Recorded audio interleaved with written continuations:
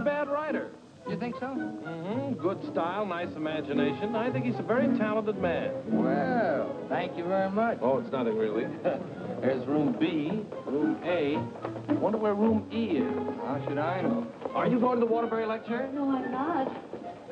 Let's find out where she's going. Oh, Excuse me. I'm sorry. Uh, where's the Waterbury lecture, do you know? Aren't you Owen Waterbury? Yes, I am. How do you do? Follow me. Where are you taking us? Room E. Are you a student or a teacher? I'm a student. Oh, advanced or beginner? What do I look like? Well, You look very advanced to me.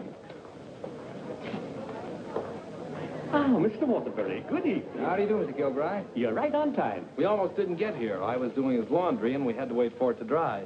His uh, underwear is still wet. I brought a friend, Mr. Ronnie Hastings.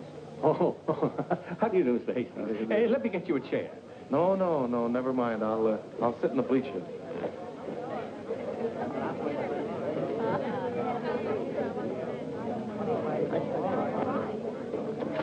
Hello. Hello. You, uh, you going to be a writer, too? I hope to be someday. Well, uh, this lecture should help you a great deal. He's a great writer, isn't he? Oh, yes. Of course, he gets most of his ideas from me. Excuse me. Yes? Uh, you're sitting in my seat. Oh, I'm terribly sorry. Good evening, Miss Gaylord. Hello, Mr. Scott. Uh, anybody sitting here? Yes, Clarence Henderson. But he's out sick tonight. Well, then why did you make me move? Oh, Clarence and I don't speak. Oh, well, Attention, class. As I promised you, our guest speaker tonight will be none other than Owen Waterbury, author of the new bestseller, Last Year's Love. Mr. Waterbury. oh, louder, louder. That's enough. I understand that most of you hold all sorts of jobs during the day, and yet you've been studying the technique of writing in the evening. Now you're ready to take your pen in hand and go out and conquer the world. you know, I'm hardly the person to tell you how to write because I don't follow any rules. Today, the writer is asked to keep one eye on the bestseller list, the other on art. That's divided loyalty, and that makes for dishonesty. I must confess, I've been guilty of this dishonesty, too. But now that I've made my position secure, I'm going to try to write a really good book. No more bestsellers, but something that I hope will be a piece of great writing. You know, good writing, fine writing, is here and here.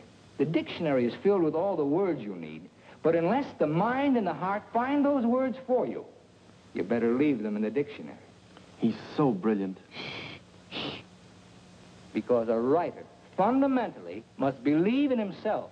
That's half the battle.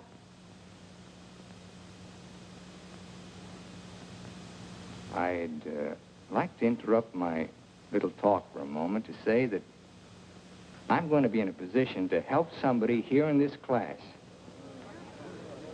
Beginning tomorrow, I'm going to need a secretary. I've already placed the request with the University Placement Bureau, and uh, man or woman, whoever qualifies, will get the job.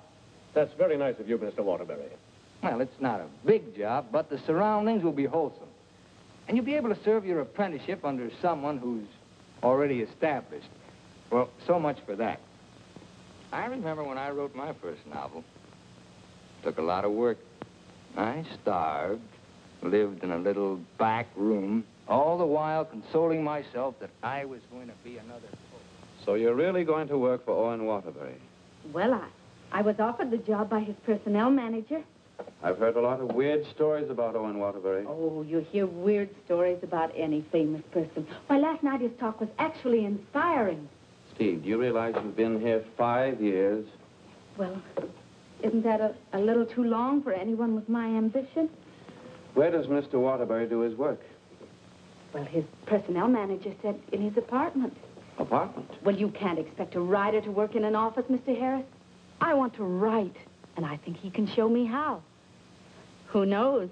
After a year with him, I, I might even be autographing copies of my own book in, in one of your bookstores By taking a course in Owen Waterbury. and getting paid for it at the same time. I'm going to miss you, Steve. Oh, no, you won't. After a week, you won't even know I've gone. Not true, but good luck anyway. Well, I could make a big speech, but I think you know how I feel about everything. You've been wonderful to me. I understand. Steve, Yes? call me sometime, will you? We'd like to know how you're getting on. I'll call you tonight, after I get the job.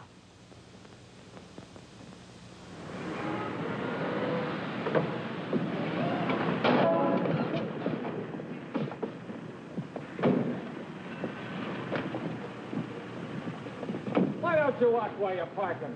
Well, you can back up, can't you? You got to reverse. Never mind, Bill. Just save your energy for upstairs. Smart guy. Hand me the bag, Bill. Yes. I'll take it upstairs for you, man. Anything drives a cab these days. Apartment 3E. Thank you. Now, just remember, Bill, if he says one word that's out of line, just one word, I want you to bop him right on the jaw. They might take my license away. Not for protecting a lady. Well, come on, in or out, in or out. You know I hit pretty hard. The harder, the better. Is he a big guy? Six feet of bluff. I'll cut him down. I didn't get this nose for nothing.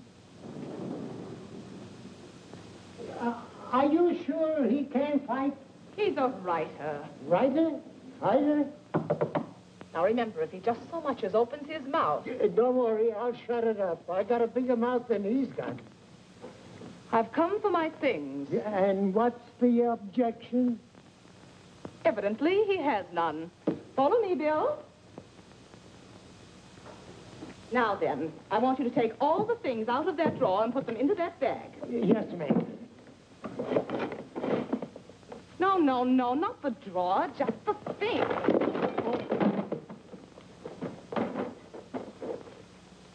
Oh, come in, come in, come right in. That's right. Uh, that's Mr. Waterbury's former secretary. She quit this morning. Uh, won't you sit down? This is my mink. And how? Waterbury gave that to her as a Christmas bonus. My typewriter. Well, uh, that was sort of a New Year's bonus. My aujourd'hui. Uh, she brought her own um, aujourd'hui. My pot. She, uh, she cooked once in a while. My bourbon. She uh, drank a little. My cigarette box. She smoked, too. My lipstick. Uh, shall we adjourn to the library? Your frankfurters. Goodbye, Mr. Waterbury. Good thing you didn't open your mouth. Y- thank you. Come along, Bill. Don't bother with your inferiors. And now, miss, what can I do for you? This, uh, this is your new secretary. Oh, yes, you're from the Kilbride School. Yes, I am. Say, look at that. She knocked over a bottle of ink all over the carpet, and it's going to be hard to get out, too. Oh, would you try cleaning it up, please, Mary? Not me. The landlady says I'm not to clean up any more messes. Just do my regular work and get out of here. Excuse me. Would you like some help? Oh, thank you very much. Say, you're going to work out fine. Here, Ronnie. I'm an expert at this sort of thing. He sure is. He cleans up about six of them a month. I'll need a cloth and some rug shampoo. This is the stuff you've been using lately. Here, this is a woman's job. It was a woman who did it. It was an accident. You better not let the landlady see that. She'll add a $100 for damages to your rent. That's more than last month. Oh, I got some on my dress. Oh, I'm... Oh, look, why don't you work on the rug and I'll work on your dress? Why don't you two work on the rug and I'll work on her dress? I'll work on my dress. I'll work on the kitchen. Do you like hot dogs? Occasionally, yes. Fine, we'll have them for lunch. And for dinner, we'll have steak. Lunch? Dinner, what? I haven't even been interviewed yet. What's your name? Stephanie Gaylord. What do your friends call you? Steve. Oh, that settles it. I think she should be hired. How are you on shorthand? 120 words a minute. Do you do laundry? From my own, generally. Well, you're going to have to learn to do silk shirts, 120 a minute. I'll do the cooking. And eating. Do you live here, too? No, I live next door. But he hasn't been there since July. That's because I have no kitchen. Well, we see we share our kitchen on a cooperative basis. He cooks and he eats. you know, Owen and I went to school together. I was in kindergarten, and he was in the eighth grade. Then I went to high school, and he was still in kindergarten. And then I studied piano and became a character in every Waterbury book. And what were you in last year's Love? I was the chorus girl who studied piano and was very bitter about the world. Where'd you work before? Who, me? I was secretary to Charles Harris. He, he owns the Harris bookstores all over the country. And how is Mr. Waterbury's latest novel doing? Second only to the Bible. Oh, well, he won't like that. You married, Steve? No, I'm not. Please, Ronnie, I'm not interested in whether or not Miss Gaylord is married. Oh, no. My biscuits are burning. I've, uh, I've had married secretaries before, and, well, their husbands were a little troublesome. They were murder. uh, his working hours are very peculiar.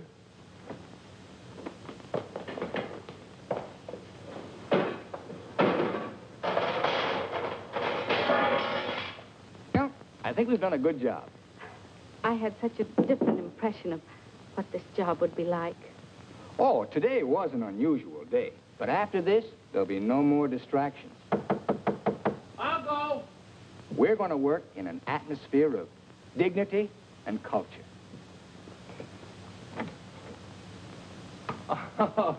it's your bookmaker. Mary, that man's here again. I've heard you. How much do I owe this time? Eleven bucks. Don't you give me no more of your tips. That horse will come in next time out. Next time out, he'll be dragging a load of ice. Well, uh, what do we owe you? 278 for Owen and a buck for you. Excuse me.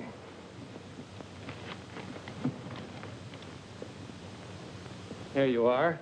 Uh, I'll have to owe you mine until next week. You want to wager today? Well, uh, I haven't looked them over yet, but I'll give you a call. And no more 50 cent bets. The boss don't like 'em. Um, where was I? You were telling me that everything here was dignified and cultural. Oh, yes. Now, Steve, about your other duties. I'll go. Did you just have an interview with my daughter, Mary Hastings, about a secretarial job? Why, yes.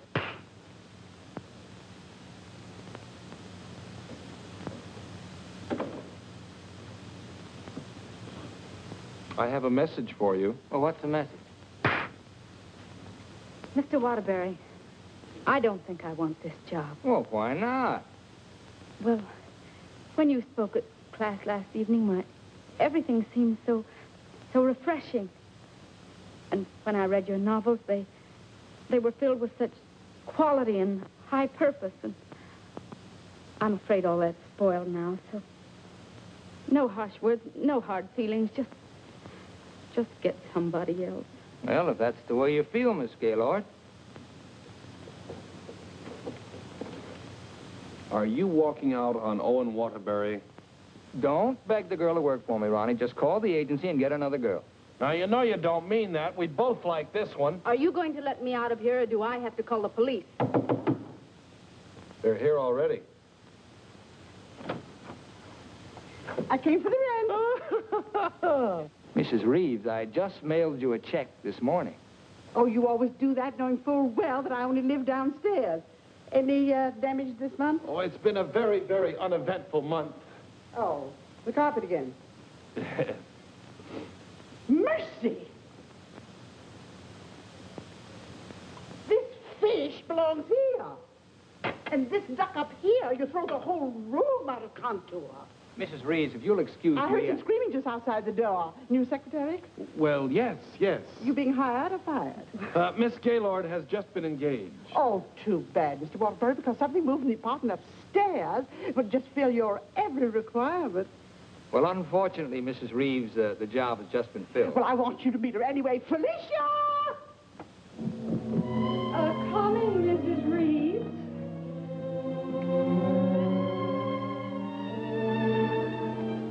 Adams, I want you to meet the famous Owen Waterbury. How do you do? him. How do you do? How do you do? Um, Felicia came to California to get into the movies. Now, who does she remind you of? Oh, now don't tell me. Let me guess. ZaSu Pitts. Oh, of course not. Uh, Felicia, in addition to being a secretary, is a very good actress, aren't you, dear? Now, take off your coat and let them see.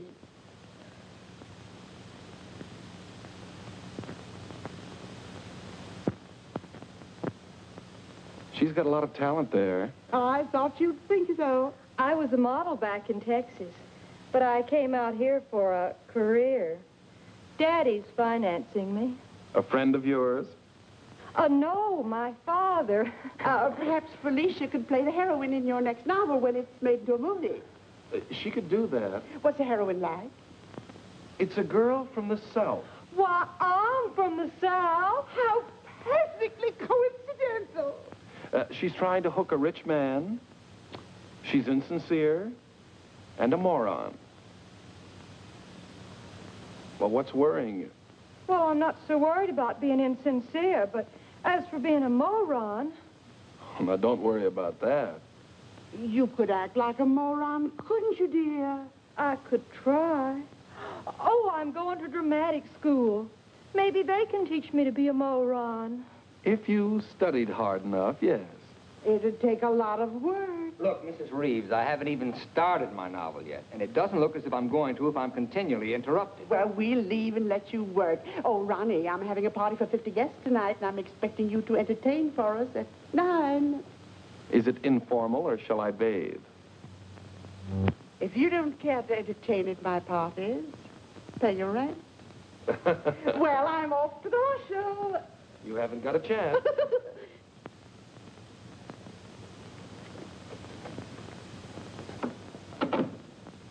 You know, ever since her husband died and left her seven buildings, she's been a peeping Tom. Now, come on, Steve, let's you and I prepare lunch. Look, I stayed only because I, I didn't want to cause a scene in front of your landlady, but I'm really leaving now. What an idea. What an idea. Take Come on, take it down. Get your pad. Well, where's your pad? When you've got to have a pad, you can't start a job like this without a pad.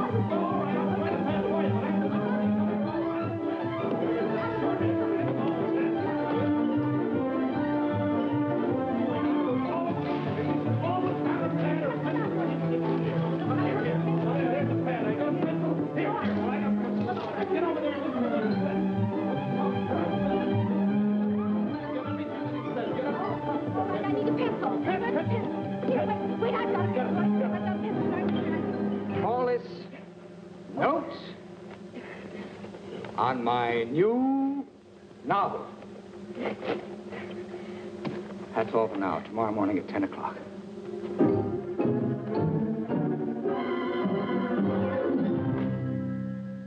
He's incubating. He's incubating at last. Come along. You always start a new novel. Yes, yes, always. I remember on last year's Love, I was baking a cake. All of a sudden, he called me out, and I had to start taking dictation. And I couldn't go back until he was through dictating. At 3 o'clock in the morning, we sat down to chocolate-covered ashes. Oh. Well, I'll, I'll see you at 10 o'clock in the morning.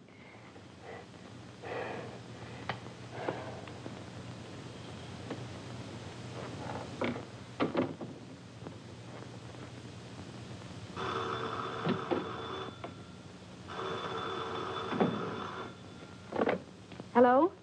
Hello, Steve. I couldn't wait for you to call me, so I'm calling you. How was the job? Well, I I have to make an adjustment, you know. It's it's such an unusual kind of a job. I can imagine. He he, he started his novel today. Oh, interesting story? Well, he didn't get very far into it, but but I'm sure it's going to be wonderful. He he seemed so excited about it. Look, Steve, let's have dinner one night this week.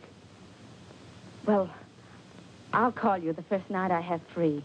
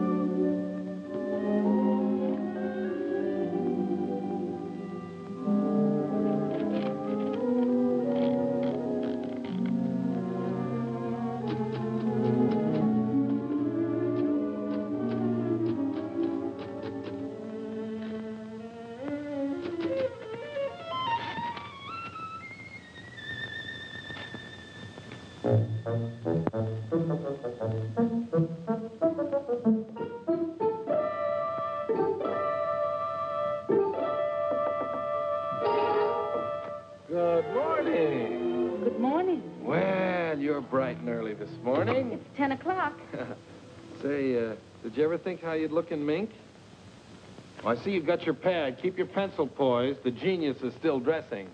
I'm making potato pancakes for luncheon. He's in a sour cream mood today. Uh, if you need anything ironed, I'll be in the kitchen ironing. Good morning, Steve. Good morning. Ah, right on time. Let's see, uh, where did I leave off yesterday? Notes on my new novel. Yeah. Uh, I'll go.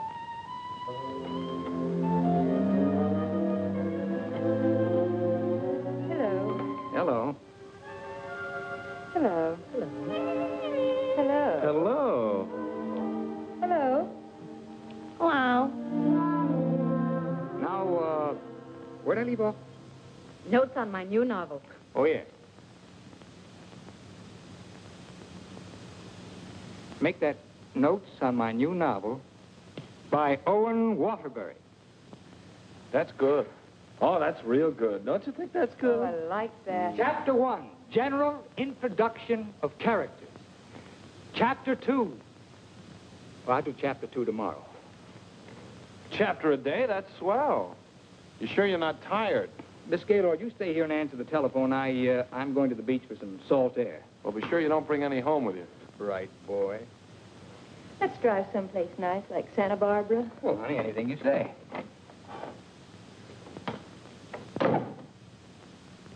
Don't pay any attention to him. He's just trying to make you jealous. Jealous. Well, what makes you think I'm I'm even interested in him? You know, for a secretary who's just been given the day off, you're awfully annoyed. Annoyed. Of course I'm annoyed. I just don't want to sit here doing nothing. I came here to work. I came here to do nothing, and now I'm working. Look, if you get paid for idleness, grab it, you fool. There goes another one.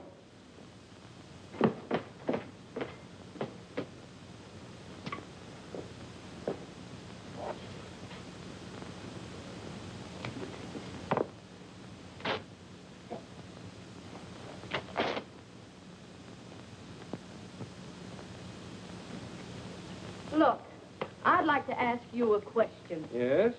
Does Mr. Waterbury intend to write a book? That's a very interesting question. Waterbury's a genius. What do you think he's doing right now? Incubating. Exactly. And whenever he goes through a mood like this, a great book comes out of it. I'll bet he does a lot of writing tonight. Why, honey, you're jealous. Look, I don't even know Mr. Waterbury. At this point, I'm not even sure I want to. Of course not, honey.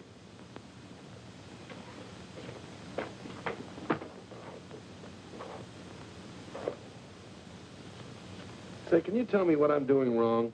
Everything. Here, let me have it. How can you get so many wrinkles in it? Well, he's tried 16 laundries, but he still likes my work best.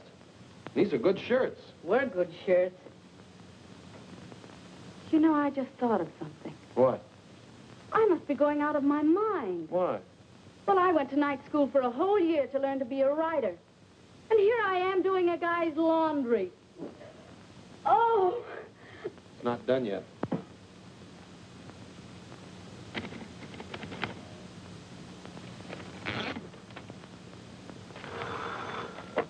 Hello? Miss Gaylord, this is Owen Waterbury. I want you to be here tomorrow morning at 9 o'clock. I've finally gotten the idea. Thank you. You know, Owen, I like that idea. Yeah? I don't think there's a horse in there that can beat him. Never.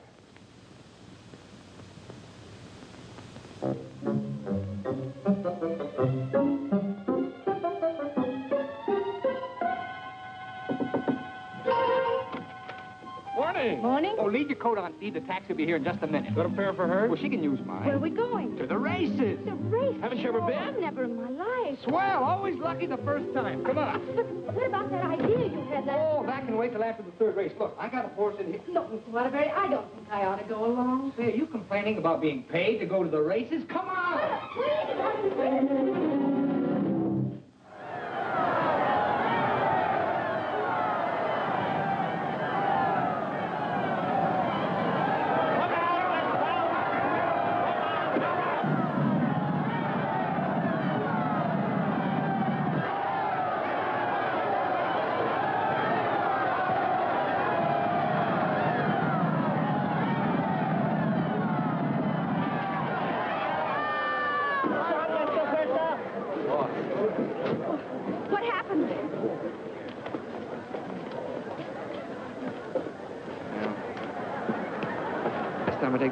tips. Well, so far this job has cost me $83. Now, don't worry. I'll see that you get that back. Why should you? I gambled and I lost. Well, losing's good for the soul. We had the three best souls in town.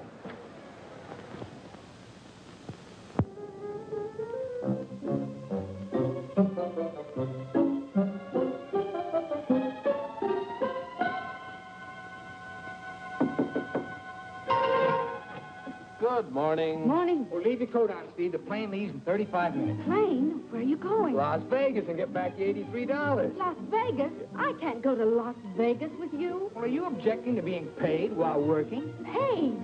I don't think I can afford to work for you much longer, Mr. Waterbury. Oh, Steve, it only takes an hour and a half to fly. If you catch evening plane back, you're home in time for dinner. With tons of money. No, I won't go. I just won't go. No, please, please,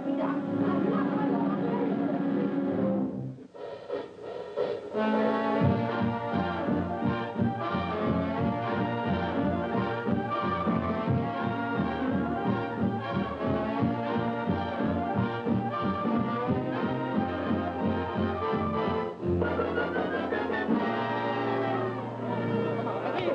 Seven, you Right here, right here. No sorry shooter. No dollar bets here. When do you think you're on Los Angeles? Hit the road, hit the road. Baby, here we go. Come on. Oh, the easy way. What is your point? Hard Four. Four the hard way. Hard way four. Hard way four. Baby, here it comes. Here she is. Four. And seven, you lose. Seven you lose. Standing on my right again, huh? When are we leaving, Mr. Waterbury? Leaving? I'm stuck 3,000. But you said we'd catch the midnight plane. There'll be another plane at two, darling. Next shooter, please. Grab the right shooter. Take the right Go. Come on, let's go. I thought working for a writer was going to be so uplifting. Perhaps you lose. Perhaps you lose. See what you did? But I, I didn't do anything. She didn't mean it. What are you grinning about? I'm betting on crap. Everything was going to be so intellectual. Perhaps again. Go back. Are you doing that on purpose? What did I do? You're doing all right, honey. What's her point? Her point is craps. Can't you make anything but craps? I was going to meet only literary people. Perhaps me. You're my dream girl. Never saw that before. Don't make any more craps, understand? I'll tell him when he comes in. Keep your mind on the dice. Put this all on seven. She's gonna make this time for once. You know, I'm writing a novel too, Mr. Waterbury. It'll be a honey. A two and a one. Correct. Four, four, three. Get out of here. That's goodness. What's wrong? Keep your mind on the dice when you roll them. How dare you speak to me like that? Just for that, you roll your own dice. Correct again. Eighty dollars, Rich. Come on, bring it in. Over here. Come on, lad. money. Gaylord. Steve, where are you going? I'm going home, and I never want to see you again. You're a fraud, Mr. Waterbury, a cheap, egotistical fraud, and your whole existence is something I want no part of. I'm sorry I even met you because you've spoiled something for me. You've spoiled my impression of Owen Waterbury, the writer. Steve, look, you, you can't go home alone. I'll take you home. Steve, please sit down, will you? I want to talk to you. Please. Steve, honestly, this gambling, it's an insidious thing. It changes a person. I, I'm really terribly sorry. Well, then why don't you put a stop to all of this and get down to work? I guess I'm afraid. Afraid of what? I'm afraid I'm not the great writer I started out to be. Instead, I'm just a commercial hack. Oh, no, you're not. Didn't you see how everyone at the university treated you with awe and respect? Why don't you write another love story? I think going backwards. Backwards? Stick to your last. You know the story of the clown who always wanted to play Hamlet? If you keep telling yourself you're a failure, you'll be one. If I try another love story, will you work for me? If you work, I'll work for you. Thank you. I'm poor again. I just switched to sevens.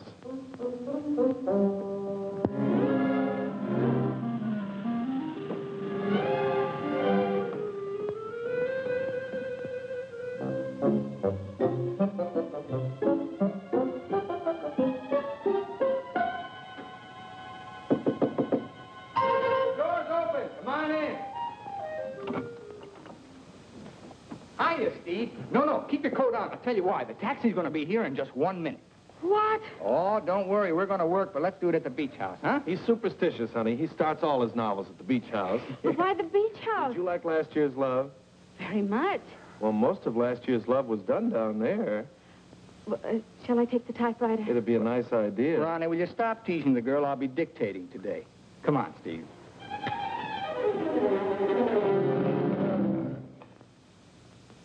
I'll dictate this in outline form, and then I'll polish it up later. Yes, Mr. Waterbury. This is the story of a successful novelist who began to die, morally and spiritually, until a girl came into his life. And then the whole world seemed changed. He'd seen her one night while delivering a lecture to a short story class. There were so many faces looming up in front of him, but he saw only one, hers. Wistful, delicate, exquisitely beautiful. Without her knowledge, he arranged to make her his secretary because in that fleeting moment, in that single instant, he knew he was desperately in love with her.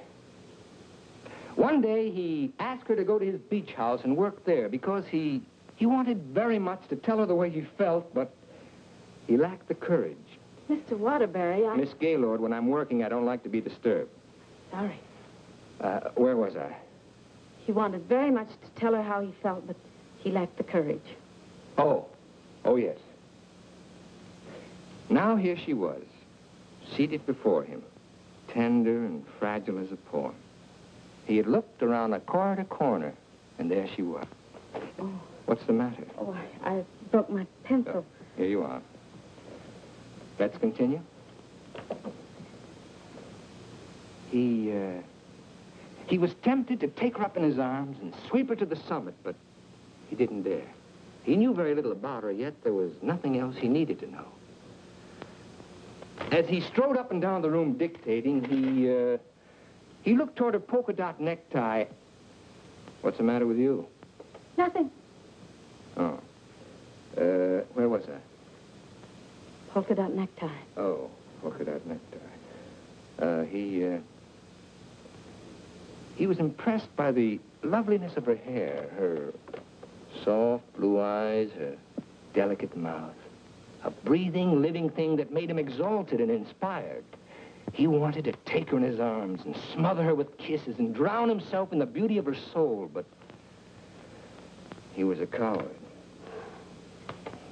How do you like it? It, it has possibilities. Suddenly he threw caution to the winds. Leaned over and kissed her. She melted in his arms and offered no resistance. Wordlessly, they held one another in silent embrace.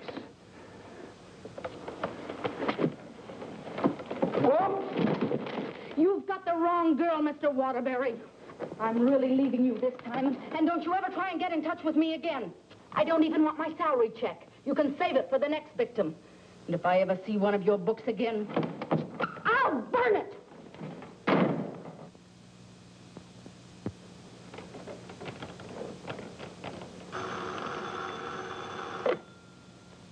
Hello.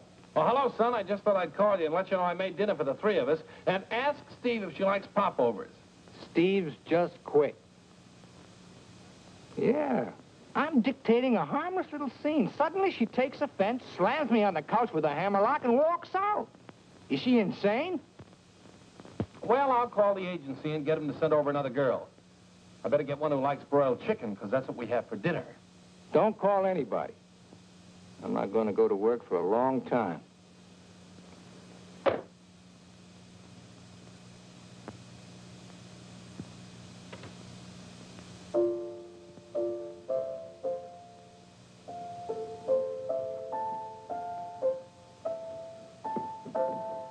Come on. Will you get out of here so I can wash these keys? I'm composing. Composing. I haven't heard a good song out of you yet. That's it. Give me that again. Thank you very much. What are you calling that thing? I got a cold in my nose. Come on, sing it. Oh, Mr. Ronnie, I, I... Oh, don't be silly. I just want to hear the quality. Sniff, sniff, here's a handkerchief. Ka-choo, ka-choo, to you. Let yourself go and blow. Oh, let yourself go and blow. Sad, ain't it?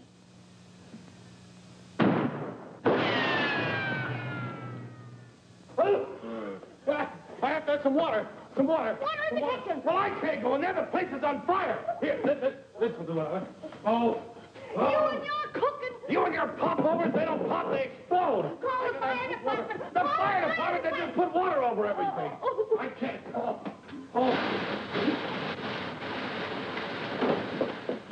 I'm going to tell a landlady on you. Oh, I'm going to tell a landlady on you. No, no, no, no, no. Well, I'm not going to clean up this mess. All right, just for that, you won't get a piece of pie. What's in that garbage can? Pie? 30 misses out of 31 tries.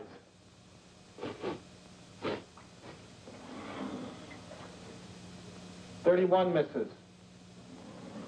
Well, at least the roast chicken's safe. What's that? Roast chicken? How can you pour a roast chicken? Well, I had to roast it in the pressure cooker. It melted a little. Oh, he'll have his dinner out tonight. Well, so am I. You don't think I'm going to eat this horrible mess, do you?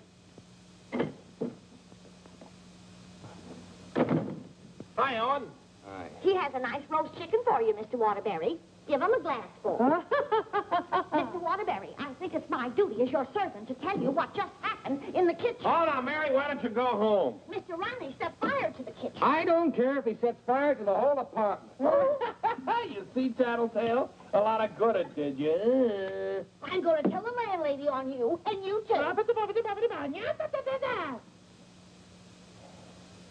Well, what happened down at the beach house? Will you stop asking me silly questions? I told you on the phone. She quit, that's all. Well, she had some nerve. But I don't need her. There's a lot of other secretaries. Well, of course there are. just as capable, efficient, and just as cute. Sure. We never did find out how good she could type. Well, I'll call the agency and get another secretary. No. I got a better idea. What you gonna do? I'm gonna pack. Where you going? New York, change of environment. I work better there. Gonna get rid of the apartment? Yep. Well, what's gonna happen to me? What should happen to you? That's a very unfair question. Boy, I'm not gonna let a little thing like a secretary throw me off balance. Never in a million years. I got a life to live, too. Wonderful, beautiful, exciting life. I got a book inside me, a great book, full of intensity and scope. Boy, you know something, Ronnie? I'm glad this happened. I'm down to earth now. What happened? Well, you can still use it. Elsie called. She's, uh, sorry she quit in a huff, and she apologized for the cab driver. See? That's what Steve will be doing tomorrow. Calling and apologizing, but I won't be here. Say, what am I running away for anyway?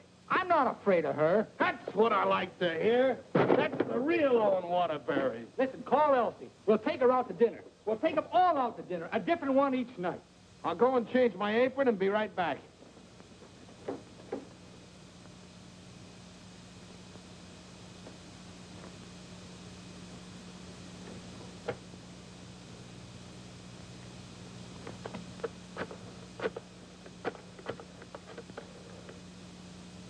Uh, Brian Detective Agency? Uh, this is Owen Waterbury. Yeah. Look, I want you to shadow a girl for me. Stephanie Gaylord. now, let's all try to have a good time tonight, okay? I'm willing. Are you, Ronnie? I'm willing. Good evening, Mr. Waterbury. Hello, Francois. Here, why here? I like it here. You've always hated the Ridgely room. He's joking. I'm not joking. You've always hated it, hasn't he, Elsie? I thought so. I've always hated it. Mr. Waterbury, there's a gentleman here to see you. Gentlemen? Oh, oh, yes. Uh, Ronnie, will you take Elsie to a table, and I'll join you in just a minute, huh? All right, but don't leave us. Don't stick Elsie with the check again. Antonio, table three. Table three. Uh, where is he? Alcove two. Good evening. Is that the gentleman? Yes, sir. Hello. Did you send me that message? Yes. Brand Detective Agency. Hmm. Oh. Devon is the name. Well, how'd you find her so fast? That's my job. There she is, right over there, with a man. Who's the man? I don't know. Do you want me to find out? Of course I do. All right, I'll start shadowing both him and her. I want you to find out everything you can about her. I think she's in love with him. She your wife? No, my secretary. I get you. Look, I want nobody to know about this. Don't worry. The way I operate, even you won't know about it. Can you check a pass for me? It'll be expensive. Well, why? The unknown quantity. We've just finished checking on a girl. Took us a year to get her pass caught up with her present. Do a good job. I will. Take care of my check. Yes? Yes, give me a pack, please.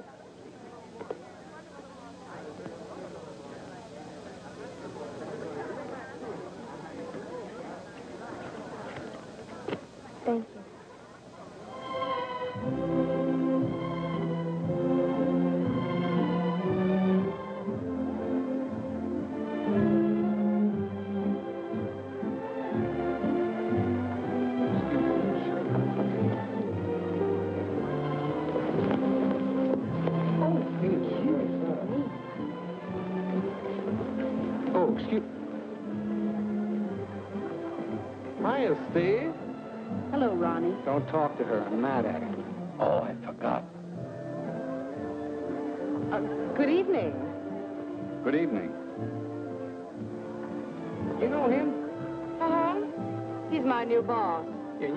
What's his name? Charles Harris, the bookseller. Uh, that's Steve's old boss. He's not so old. How dared you go work for him? Listen, Shakespeare, I'll work for whom I please. What, did you have to pick on her old boss? Did she pick on mine? When Mr. Harris called the employment agency, he asked for somebody with literary experience.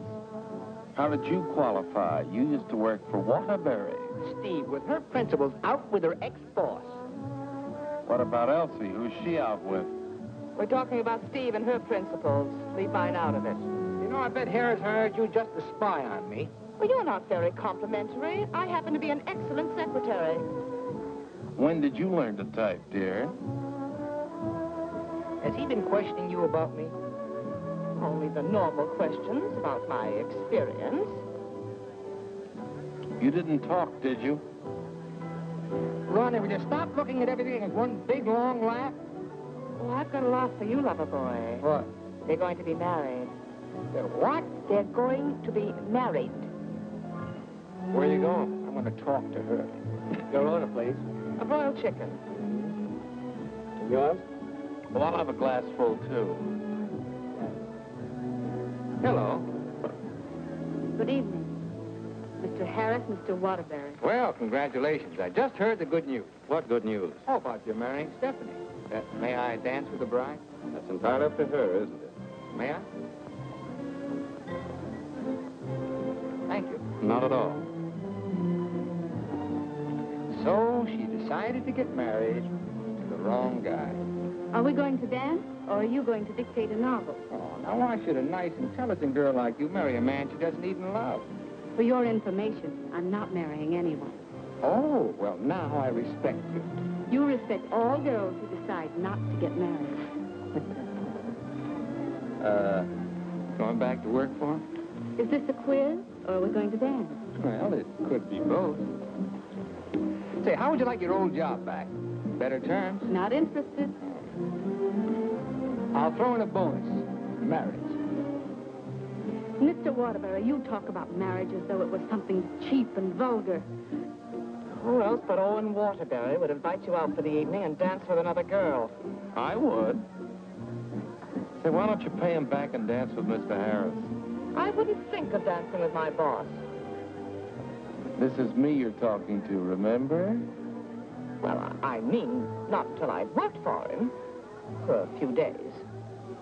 Well, that's a nice sentiment. Steve, you're in my arms at last. I'm holding you at last. We're dancing. You may be dancing, but I'm holding you. Oh, like the tide, you go out, but you also come in. Owen Waterbury, you're the most maddening man I've ever met. Listen to me, Steve. I love you. Everything I dictated at the beach house I meant, but it was too much of a coward to say it out. I, I love you, Steve. Marry me. Take a chance. This is me, the author with beautiful words, but I'm stopped. All I can say is, I love you. Marry me. Your chicken, madame. And your chicken in the glass, sir.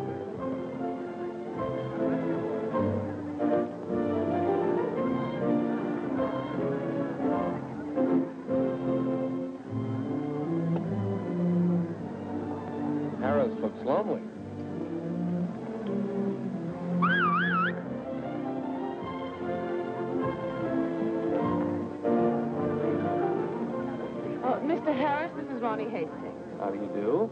Won't you sit down and have a glass of broiled chicken? Thank you. I think I will.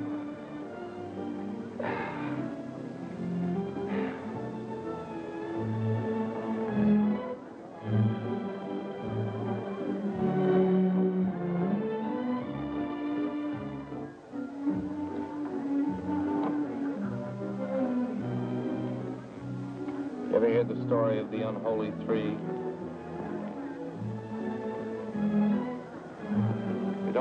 think I'll be running along.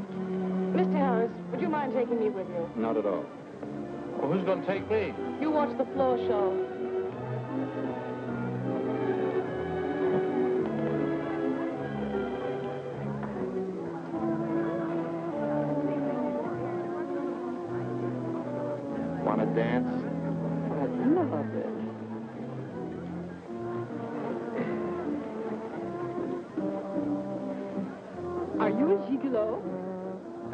Tonight, I think I will be.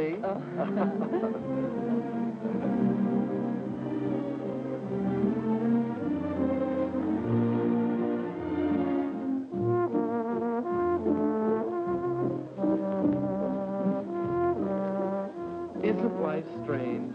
When one gets up in the morning, one never knows what one will be doing in the evening, does one? oh, dear.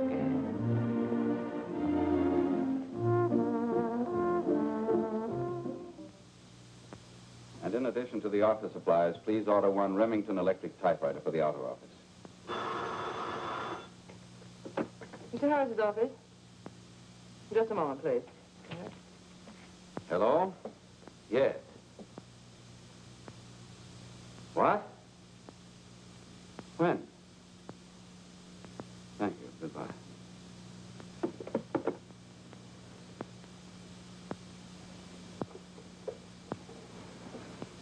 The matter? Is anything wrong?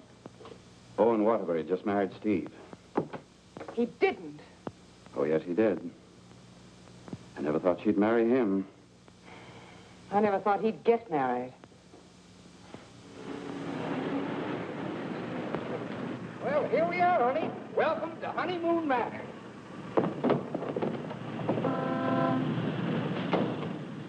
Congratulations! Hi, Ronnie. May I be the first to kiss the bride? Or am I the first? I'm not a very wide-awake bride. Honey, let's get some sleep, and then we'll go over to the beach house, huh?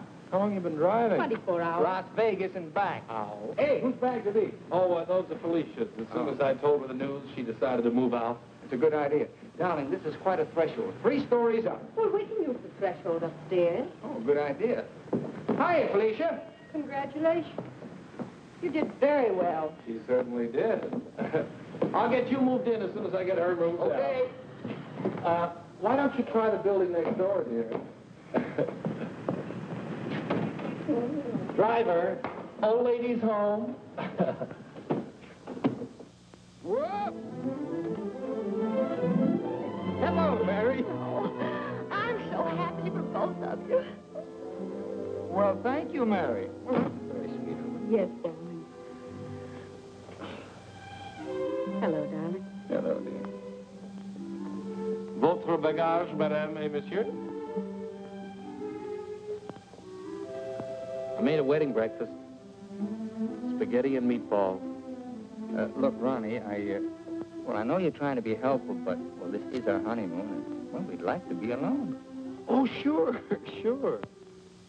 Say, Steve, be nice to him, will you? He's my only means of support.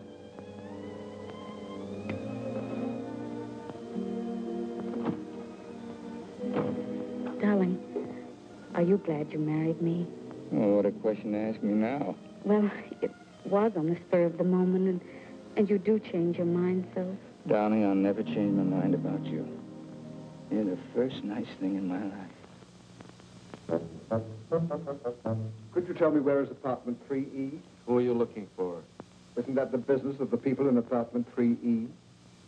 It's the next apartment down the hall, sir.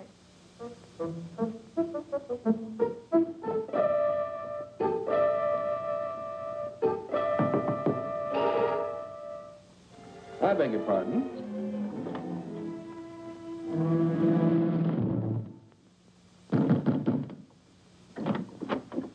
Yes, and what can I do for you? I have a message for Mr. Waterbury. Well, I'm afraid Mr. Waterbury can't be disturbed just now. He's, uh... He's a little busy. My name is Devaney. Will you tell him the woman he's interested in got married?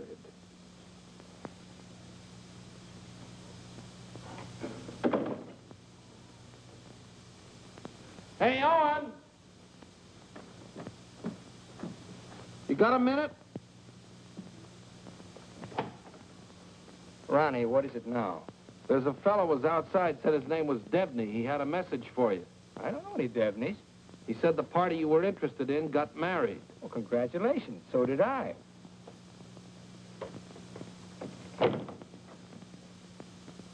Darling, whom were you interested in who got married? There's only one married girl I'm interested in.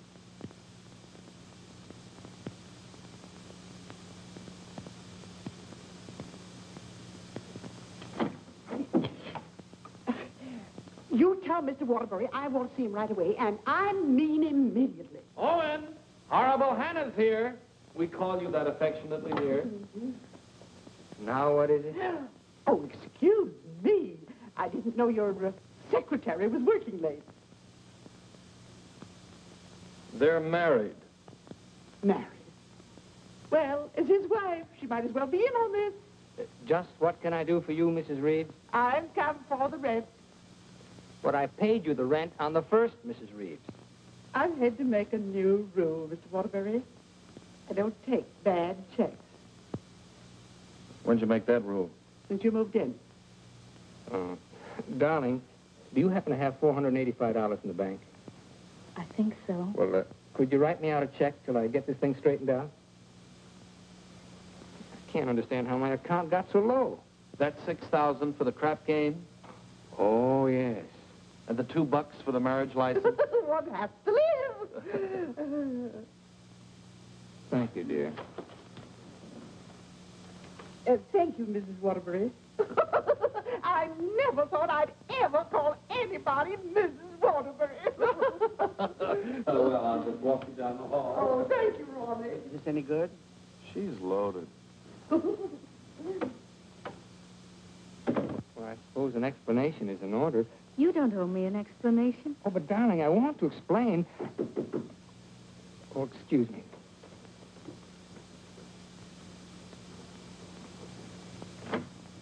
Hello, Owen. Oh, hello, Dick. Congratulations, we just heard. Well, thank you, Bertie. Congratulations. Thanks a lot. Oh, darling! Uh, well, won't you come in and sit down? Oh, yes, thanks. Uh, oh, darling, I, I want you to meet Mr. Fulton, my publisher, and Bertie. This is my wife. How do you do? So nice knowing you. Owen, you're not thinking of a prolonged honeymoon, are you? Oh, no, we're just going down to the beach house, and, well, I thought I'd dictate my honeymoon. Good idea. You know, there's a deadline on that novel. It's got to be made. You know why. well, I'll have it ready, Dick. I'll count on it. Would you like a drink? No, no, thanks. We're double parked downstairs. Come, dear. Uh, how's Ronnie? Oh, still eating. Same old Ronnie. Yes, Bertie's told me about Ronnie. She says that when he dies, he'll ask the crematorium to baste him slowly on both sides. you know Ronnie? Oh, of course. I was once Mr. Waterbury's secretary. Uh, well, thanks an awful lot for coming, Dick. Happy honeymoon. Thank you.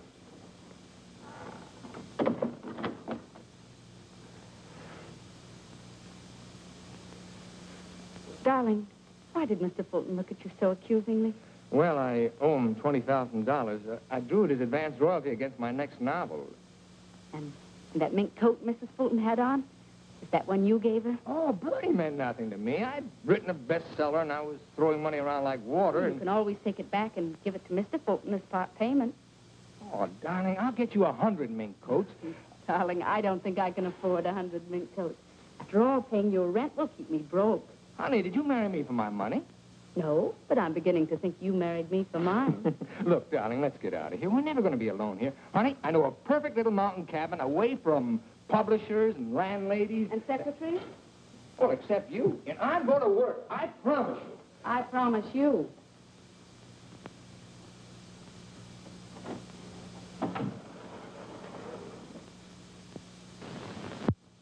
How long did you work on this book, Owen? Four months. I'm uh, rather proud of this one, Dick. Where's Mrs. Waterbury? Oh, Steve's down at the village getting groceries. She wants to prepare you one of her special dinners. Well, uh, I'm afraid I can't stay for dinner. I have to catch that next train back. Dick, let's drop the suspense. How'd you like the book? I'm going to let you have it right between the eyes, Owen. You don't like it? I hate it.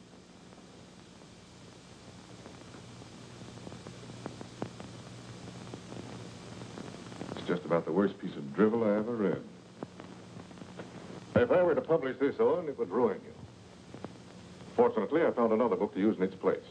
What's the matter with me, Dick? Am I through? Of course not. Every top-flight novelist has a bad book in him. But how am I going to pay you back your money? Well, don't worry about that. I'm sorry, Owen. Darling, I got some of that wonderful venison. Why, hello, Mr. Fulton. It's so nice seeing you again. Miss Waterbury. Do you like venison? Well, I'm afraid I can't stay. Oh, why not? I've got some very important business in town.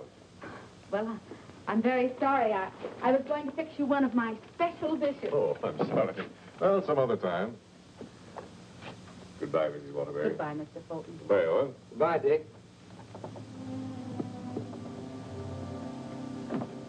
He doesn't like it. No, Do you think he's right? he's always been right. Until he married Bertie. Oh, what's that got to do with it? Well, maybe he's changed. Ever think of that? Maybe he sees you through different eyes. Oh, you talk like a fool. Oh, and let's face it. Your book is now being published by a man who sees his wife in your arms on every page. He thinks that girl in there is Bertie in you. You're a child. Bertie meant nothing to me. He doesn't realize that. And he's still a human being, even if he is a publisher. And he's a man. Let's get away from here tonight. Tonight. Oh, and you blame me, don't you? Oh, not really, Steve. It, it's just that it's so distracting to have a man's wife as his secretary, too. I've got to try another book fast, and... Now, I'm going to have to get myself another secretary. So I'm fired, is that it? Oh, Steve, it'll be better for both of us if I work by myself. It'll give you a chance to work on your own book. I'll make dinner.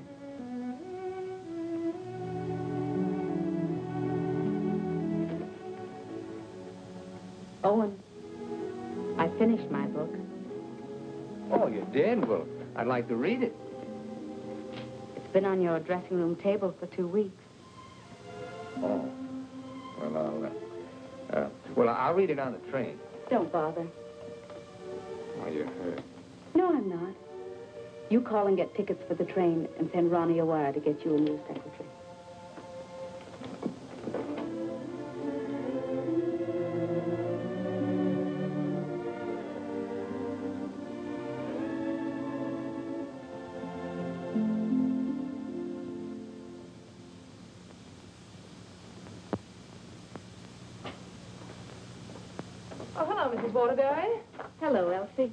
Mr. Told me you phoned in from the station. Did you have a nice honeymoon? Very nice, thank you.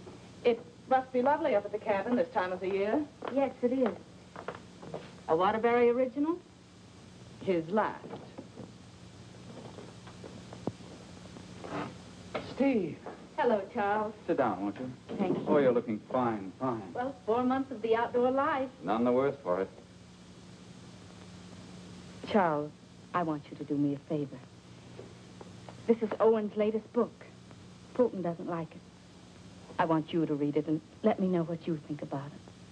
I'll try to be as objective as possible. You will be, I know. And I have another manuscript for you. Mine. You finished it. Yes, it, it was a long uphill pull. Oh, I've changed the title so many times that I finally decided to call it Dawn's Yearning. What does Owen think of it? Owen hasn't read it yet. Oh? He hasn't had time. He, he's been busy writing. He couldn't concentrate on it. I'll be glad to read both of them. Thank you, Charles. Goodbye, Steve. Goodbye, Charles.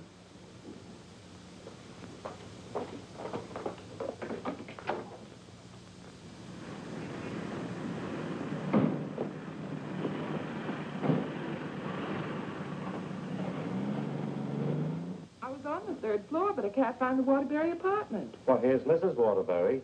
Well, how do you do? The employment service sent me over. What for? Oh, Mr. Waterbury wants a new secretary. Oh, is that so? Yes. Well, follow me. Oh, thank you.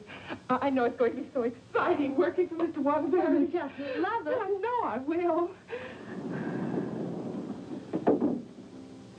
You know, this is such a rush call. I hardly had time to dress. Your dress beautiful. Oh, thank you so much. You know, I make my own clothes. Oh, really? Yes. Come in. Come right in, Miss. Uh, what did you say your name was? Hilda Schneebacker. Miss Schneebacker. Owen, darling, this is your new secretary. How do you do? Uh, this is my husband, Owen Waterbury, and this is Ronnie, our next-door neighbor. How do you do? Uh, can I get you something to drink? Oh, have you any beer? Well, I should say we have. and we have pretzels, too. you know, I could just drink a barrel of beer. What did you ask for on the phone?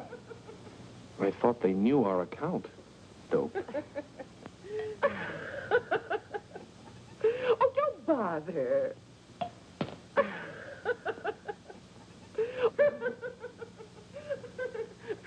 Why don't you bring your beer over here where we can be more comfortable?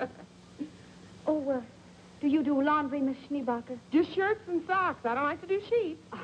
Well, sit down, please.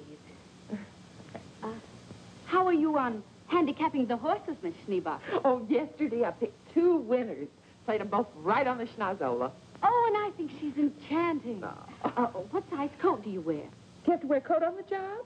Oh, Mr. Waterbury likes to give all his employees mink coats for Christmas. Oh, I wish I'd known that.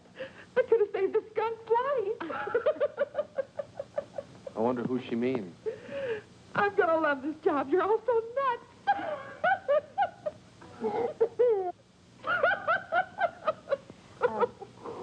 Do you object working late hours, Miss Schneebacher? Not at all. A room with a girlfriend. I haven't seen her since New Year's. Schneebacher, I'm afraid this job's going to be a little too much for you. But why, Owen? well, you see, just- several parts of my new novel are mostly in French, and, well, I'm sure you don't speak French, do you, Miss Schneebacher? Studied it for six years. Once I had a French boyfriend. We had no trouble. Uh, yes, but how's your shorthand? Shorthand? I don't take shorthand. You don't take shorthand. Well, no. The agency said this was strictly a typing job.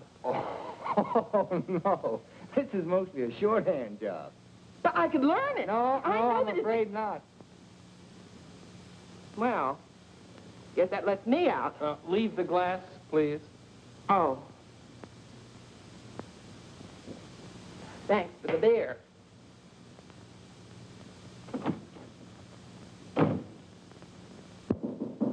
Uh, that must be the next one. The next one. I told the agency to keep sending them until we said when.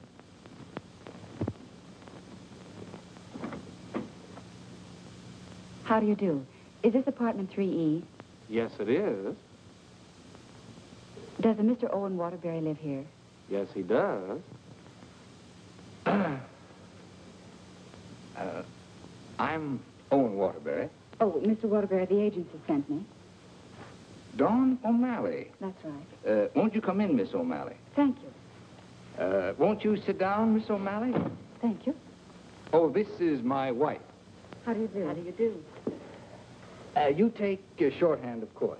Yes, 120 words a minute. Oh. Uh, do you speak French, Miss O'Malley? Mon mère, elle était française. Et mon père aussi. Vous avez De raison fait, de ne pas voyons, peur de pour fait, le de problème. fait, Dites-moi, mademoiselle Uh, O'Malley. Are you married by any chance? Yes, I am. But the divorce comes final next week. I see. When, uh, when would you like me to begin? You have begun. Oh, thank you. Uh, Steve, shall we prepare lunch and leave them alone? I think they'd like to get to work. All right. Uh, uh, tell me, uh, did you ever work for a writer before? Yes, once about three years ago. But I'd, I'd rather not talk about it. Oh, well, why not? Well, he asked me to work late one evening and began getting a little fresh. So I called the police. All I want to do is work. I guess the publicity burned his career. But he deserved it. Don't you agree? Yes, I do. How about lunch, Miss O'Malley? Oh, I've already eaten, thank you. And you, darling? Uh, no, thanks. I'll skip lunch today. You will just love living in this building, Mr. Scott. And you'll just love the Waterburys. They're so bohemian. Crude. I'll go. Oh, hello. Hello, Mrs. Waterbury. I want you to meet your new neighbor, Sylvan Scott. He's moving that little bachelor apartment upstairs that Felicia used to have. Yes, I know, Mr. Scott. Hello, Oh, Stephanie. How nice. Come in, come in. Now I want you to meet the important member of the family. This is the great Owen Waterbury. Oh. How do you do, Mr. Waterbury? And How do you do? This is The the horrible Ronnie Hastings. Hello. new secretary. Yes, she was just hired and I was just fired. Mr. Scott's a writer, too. My building will be just crawling with them. Yes, Mr. Scott and I went to night school together. We sat next to each other. Mr. Scott used to be a ball player. Just look at those shoulders. And they're not padded either. Well, what do you know? Sylvan writes that wonderful radio program called John's Mother's Lover. John's mother's sweetheart. Oh, yes. Tell me, confidentially, is John's mother going to marry her, sweetheart? No, John's father objects. John has no father. Oh, poor John. Sylvan, you'd better rush upstairs and start to work on that radio program. You mustn't neglect John. Well, I'm in a little trouble. You see, my secretary just got married. Oh, what on earth are you going to do? I don't know. I could help you, Sylvan. You, Stephanie? Yes, you see, I was Mr. Waterbury's secretary before he married me. That's right. You were. The marriage was a bonus. Oh, when could we begin? Why don't you just say, I've begun? Ronnie, dear, would you get me some shorthand books and some pencils? Uh, how much do you think you'll be giving me tonight? Why, we may be working most of the night. Oh, that's just ducky. I'm used to working at night. Goodbye, darling. Don't work too hard. I won't. Come on. Oh, thank you, Ronnie. Bye. Well, I seem to have fixed everything up. You certainly have. Well, uh, I guess I'll run along. Uh, must you go? I was just poisoning the tea. Oh, Ronnie, you're such a kidder.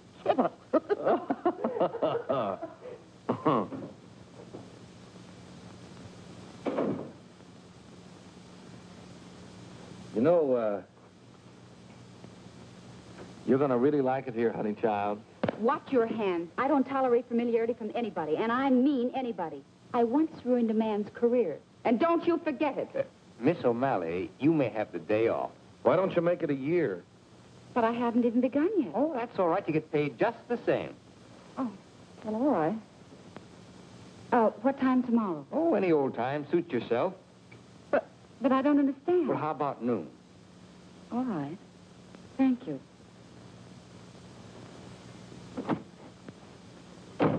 Well, you were saying something about poison tea? I mixed it. I get firsties. Now, where was I? Sound of footsteps. Three people. Thank you. Sound of footsteps. Three people. Door bang. Door crash. Door slam. Two shots. Three screams. Siren. How's that sound? Well, It's bedlam. John, I'm in love with your mother. And tomorrow, I expect to be your father. John's going to be a father, and I'm the first to know. Now I don't have to listen tomorrow. But, Father, I'm older than you are. John's older than his father?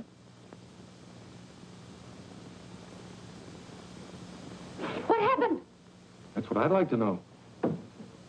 I don't know. But don't you worry, Miss Waterbury. I'm not going to do anything.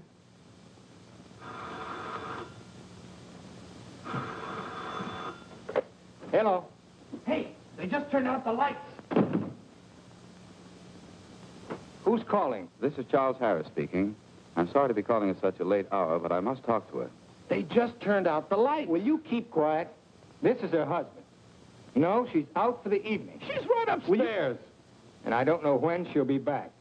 Didn't you hear me? I said they just turned out the lights. Darling, may I borrow a light bulb? I don't care what you do. What's the matter? I'm going to a hotel in case you're interested. I'll go to a hotel. After all, this is your apartment. No, it isn't. You pay the rent. Ronnie, will you take this up to Mr. Scott, please? Oh, and you can't possibly be jealous of that man upstairs. Why, he's utterly harmless. Boy, you really had me fooled. Why do you say that? Charles Harris just called. Have you seen him, Steve, since we came back? Oh, and it, it's terribly late, and, and I don't like cross-examinations. After all, we're two adult human beings, and, and we should be able to trust one another. Don't smile it away with pretty words, Steve. Have you been seeing him? Yes, All right, then this is it. but I only saw Charles Harris for one reason. I took him your manuscript. He knows a great many publishers. Please don't. It's too late for that. I felt at the nightclub you were in love with Harris, and I knew he was in love with you. After all, five years is a long time, and I was a fool to think I could break it down. I never loved Charles Harris. Well, you never loved me. You were in love with a schoolgirl notion of a popular novelist. I really try to play this straight with you, Steve, but I guess I made a beautiful mistake. Owen, I was in love with you before I met you. Something in your writing, the, the tone, the feeling, the, the quality appealed to me so much that I used to imagine your books were written just for me. It's true, I, I built it up in a schoolgirl way, and, and I was so caught up in it, I, I guess I would have married you the night you lectured in class. If you'd stepped off that platform and, and asked me, I, I would have married you. Just like that. How can you talk to me like this? I put you way up there, too, Steve. But you tore it down in the cruelest way any woman could. You once called me an egotistical fraud. But what about you, Stephanie Gaylord? What have you been? Go ahead, phone him. He's waiting for you. Owen!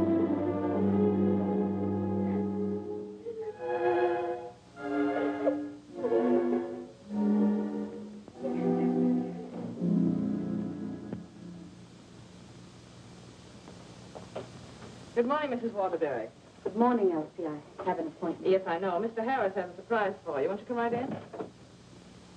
Steve, Good morning, Charles. Stephanie Gaylord, this is Mr. McNally, Mr. Hudson, Mr. Burke of the Literary Times. How do you do? How do you do? How do you do? So you are Stephanie Gaylord. Sit down, Steve. It's a big morning in your life, Steve.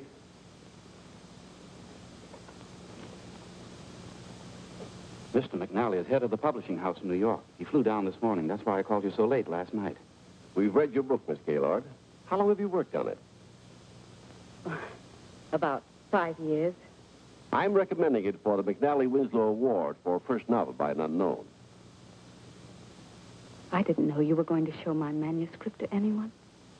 I couldn't do anything else after reading it. But don't you see what this will do to Owen? What has Owen got to do with it? Well, Owen's the big guy in my family, and his novel's just been turned down. And if this happens on top of that, it, it would just about destroy him. He has to have a sense of importance. He, he's lost all faith in himself. You mean your husband would feel a sense of competition with you? You don't understand, Mr. McNally. Owen's in trouble. And as his wife, I, I have to help him climb out of it. Steve, I thought you wanted to write more than anything else in the world. I thought so, too, before I married Owen. What about Owen's manuscript? Did you read it? Yes, it, it isn't bad. It's good. But it doesn't have what this has. This has greatness.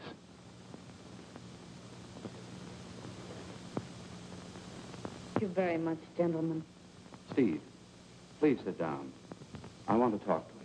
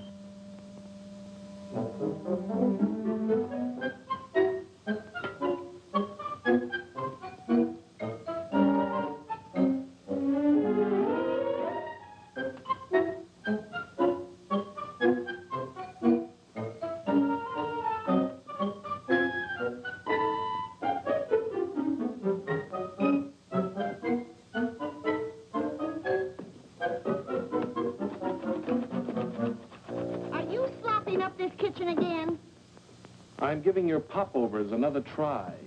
Well, give me time to call the fire department. No, no, no, Miss O'Malley. That's not the line I gave you. I'm sorry, Mrs. Scott. All right, let's try it again. Yes, sir. John, Mother, I've changed my mind. I don't like your sweetheart. Mother, well, I like him. That's all that matters. John, as your son, I refuse to approve the marriage. Mother, you're not marrying him. I am. How does that sound? Stinks. Amen. Mr. Hastings, I must say you're distracting. You know, you shouldn't be using Mr. Waterbury's apartment or Mr. Waterbury's secretary. Well, Mrs. Waterbury isn't here, and I've got to get the program out. Why don't you work in your apartment? She won't work upstairs. Well, why don't you work without her? I can't. I'm a dictator. Dear, why won't you work upstairs? I don't work in men's bedrooms. It's not a bedroom. It's a bachelor apartment. My husband was a hotel manager. One room is a bedroom. Two or more is an apartment. Sylvan, she's got you there. Oh, come on, let's work. Hello, Mr. Waterbury. Yes? What can I do for you? Remember me? I'm Debony of the Brand Detective Agency. Oh, oh. What's this? A bill for $845.62 For what? For shadowing and delving into the past of one Stephanie Gaylord. But I married her. Uh, we've shadowed married women before. Hi, Og. Get rid of this guy. You want me to call the police? I am the police. What's this doing here? That's my laundry. Do you expect my wife to do your laundry? Hey, that's a little large for you, isn't it? That's Mrs. Waterbury's laundry. That's mine. Well, take it and get out of here. And as for you, Mademoiselle O'Malley, you're fired for taking dictation from somebody else. Well, that suits me just fine. I wouldn't work for you even if I did like your horrible writing. Where's Stephanie? I don't know where she is. I know where she is. Where? You pay this bill and I'll let you know. Oh, Ronnie, do you happen to have $845? And 62 cents. Why don't you write him a check? Oh, yes. Call that number right away. Here's the detailed report. It's very amusing. You see, I had to shadow you at the same time that I shadowed her. Here's Stephanie. Oh, good. Stephanie, where are you? What? What are you doing there? Stephanie, if there were ever any chance of our getting together, this kills it now. Finally and for all time, we're through. Charles Harris's apartment. Just like that, no sense of shame. Well, maybe she got her old job back and is working for him. At his home? What decent, self-respecting girl works for a man at his home? Maybe she's his secretary. Please, don't tell me about secretaries. He could tell you. Here's the report. Page three is wonderful. Right. Call the employment agency. I'm going to show her. Look, I want a girl this time who's capable and efficient. I'm calling for Mr. Owen A Waterbury. fast typist. I don't care what she looks like. We don't care what she looks like, as long as she's attractive. Do you take shorthand? Oh, but of course. 120 words a minute. Uh-huh. And, uh, what did you say your name was? Miss Pigeon. uh, her name is Miss Pigeon. Everybody says I'm flighty. Where did you work before? I'm just out of secretarial school. I think it would be wonderful working for you, Mr. Waterbury. You see, I hope to be a writer myself someday. Oh. Uh, have you ever been married? Oh, no. Never. And uh, you have no objections to working on weekends? Oh, not at all. My time's completely my own. And you think Mr. Waterbury's just wonderful? Mm-hmm. Uh, this is a clay pigeon. I've come for my things. Follow me, Bill. I know just where to go. I want you to take everything out of that drawer and put it in that bag. Right.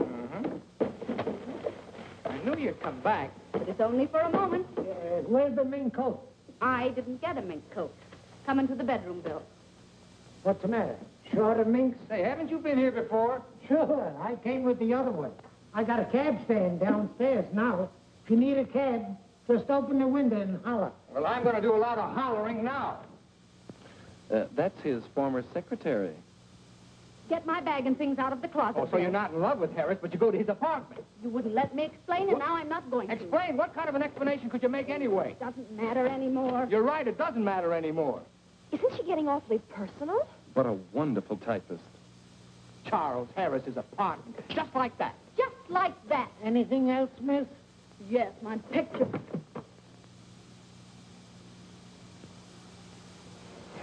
If I were a man, I'd... If you were a man, I'd ask you to step outside. Go ahead, hit me. I dare you. Did he slap her? I should say not. She slapped him. I've known all along why you've resented me. It was because I liked your novel and I told you so. You think you've wasted your time. That's your tragedy. My only tragedy is you.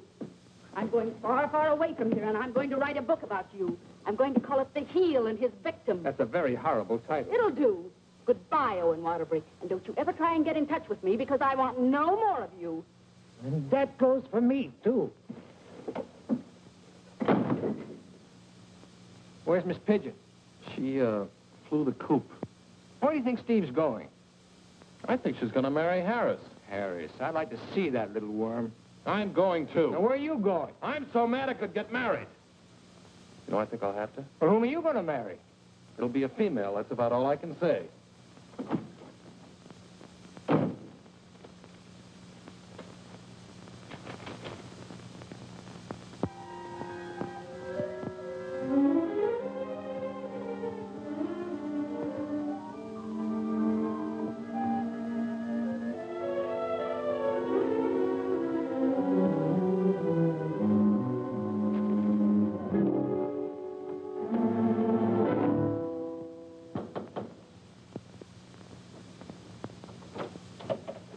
See Mr. Harris. Your name? Owen Waterbury. Excuse me, sir. And excuse me. I didn't mean to disturb you and my secretary. Your former secretary. Oh, I didn't know you were in the middle of dictation. Your sarcasm is quite uncalled for. Of course, I don't have to tell you what I think of a man who behaves this way with a secretary. you keep out of this, Elsie. Look, Charles and I are going to be married. Congratulations. What? Just where does that leave my wife? How do you suppose she's going to feel about this? She's in love with you, you know. You never deserved as fine a girl as Stephanie anyway. You know, Harris, I've always wanted to tell you that I really think you're a crude person. Your motives are very obvious. You've given me a lot of grief ever since I married Stephanie, and I came up here to tan your hide. So put up your hands and defend yourself like a man. Oh, you can't nobody's hide. Oh, listen to me, you fool. Why do you think Stephanie came up here in the first place? Because she wrote a novel and Harris wanted to have it published. She didn't want that. She was afraid it would hurt your vanity and wreck your marriage. She wanted him to help you instead. Oh, look, I've read your last book, the one Fulton turned down. It's grand, it's exciting, it's wonderful. Fulton's wrong. He's just jealous because of Bertie, and it's all your own fault, Mr. Great Guy. You know, someday Stephanie's going to be a better writer than you are. That's my opinion, and you've always valued it. Here, Stephanie's novel. Read that and really get jealous. You know, you're not going to get her back. She's gone away, and it serves you right. I hope I kicked a little sense into you, but I doubt it. Goodbye, Mr. Waterbury. Waterbury?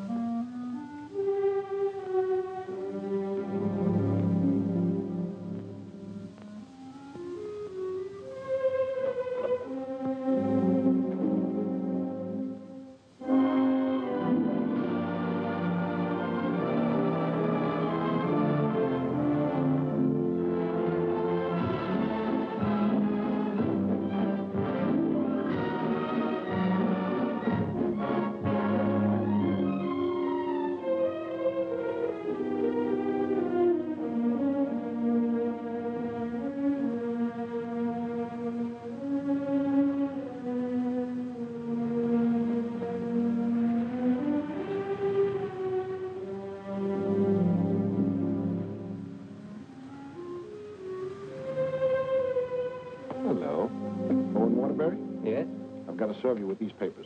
What for? Suit for divorce from Mrs. Waterbury. Thanks.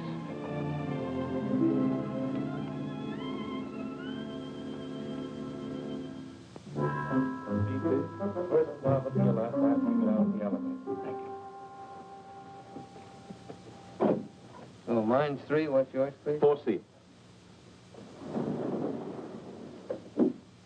Isn't that Sylvan Scott's apartment?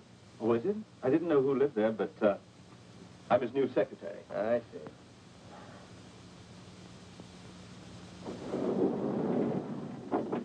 Good luck.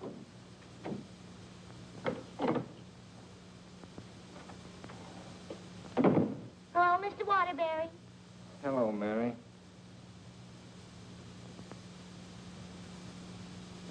You want a drink? Well, I guess so. Mary, did you see Ronnie around? Well, I haven't seen Mr. Ronnie in about three days. But I heard Telly got married. Mary? See, that's funny. He didn't even invite me to the wedding ceremony. Me neither. Ronnie gets married. I'm getting a divorce. Did you know that, Mary? Mrs. Waterbury's divorcing me. I sure was sorry to hear that, Mr. Waterbury. She was an awful nice person. So was you. At times. Thank you, Mary. Well, I see Scott's hiring a new male secretary. Oh, Mr. Scott doesn't live in this building anymore. He moved out yesterday. Oh. Well, who moved in up there? Mrs. Waterbury. Yes, she's a big writer now. Well, of all the nerve. I'll fix first. You can't do this to me.